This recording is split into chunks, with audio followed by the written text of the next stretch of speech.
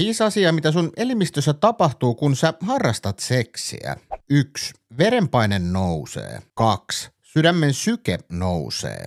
3. Nautintoon ja palkkioon liittyvä välittäjäaine dopamiinia vapautuu. 4. Oksitosiinia eli halaushormonia vapautuu. 5. Aivoissa oleva mantelitumake, joka säätelee pelkoa ja ahdistusta, passivoituu. Aika paljon muitakin juttuja tapahtuu ja niistä mä kerron mun hudella tupevideolla.